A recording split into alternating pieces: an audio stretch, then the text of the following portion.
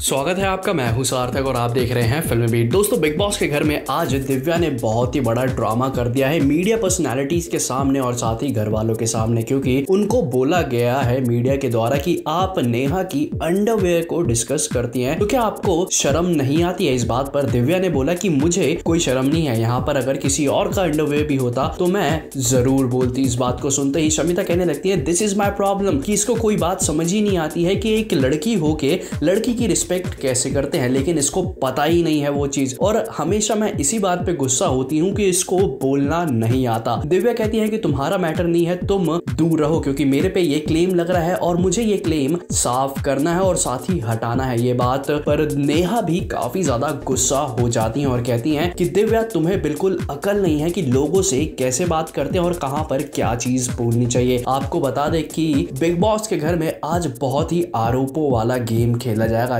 जिसमें हम काफ़ी ज़्यादा लड़ाई होते हुए भी देखेंगे फिलहाल दोस्तों इस वीडियो में इतना ही अगर आपको वीडियो पसंद आई है तो इसे लाइक और शेयर ज़रूर करिएगा और साथ ही हमारे चैनल को सब्सक्राइब करते हुए जाइएगा